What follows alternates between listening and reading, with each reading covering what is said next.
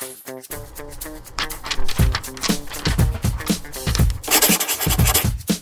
Are you turning in your iPad over the summer and you're not sure you're going to receive it back? Well, it's really important that you make sure that you save any of your important videos and pictures from your iPad to either your computer or maybe even your Dropbox. So I want to save some of my items from my iPad over to my computer. Once you, uh, what you want to do is you want to look for the USB cable that came with your iPad and plug it into your iPad and the other end, the USB side, into your computer. If you wait about, you know, 10 seconds, maybe 30, you should receive this little notification here that says Apple iPad or whatever you've named your iPad. Um, what I recommend doing is uh, just double clicking where it says open device to view, to view the files. When you do that, it should open up your iPad kind of like if it were a flash drive or an external hard drive. So you'll see here it says internal storage. Well, this is actually my iPad. There's a little picture of a camera down here because it's only going to look for my photos and videos from this device. So from here I'm going to go ahead and double click on this internal storage and I have one folder called DCIM. Well that's where you're going to find all of your photos and videos. So I'm going to go ahead and click on that and from within here you can see that I have one folder full of pictures and videos. So I'm going to go ahead and click on that and you'll notice there are my pictures, right? So what I want to do is I'm going to back it up here I can take this folder and I can go ahead and save it here onto my desktop. So I'm going to right click on my desktop and create a folder so that I can save my iPad videos to it. So I'm going to go to new and then folder and I'll call this iPad videos or media. There we go. And from here all I have to do then is drag that folder over into my folder on my desktop and it's going to copy the information there.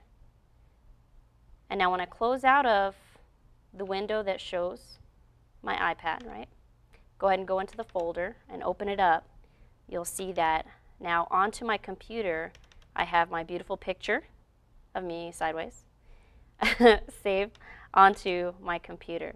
So it'll be your quick way to go ahead and save your pictures and videos to your computer okay? Now, if you have a Dropbox account and maybe you're going to turn in your laptop also, so you're not going to have your laptop, you're not going to have your iPad, what's another alternative? Well, another alternative is to go to Dropbox.com and create an account for yourself. If you already have one, you're already a step ahead. But create an account for yourself and you can actually back up all of your photos and videos to Dropbox. And so what I'm going to do real quickly is I'm going to open up my Dropbox. Once I downloaded it to my computer, I have a little shortcut here, but I could also log in online and upload my media this way. But I'm going to show you here. If I click on my Dropbox symbol here, I can open the folder. And of course, all of this media is saved in the cloud, right?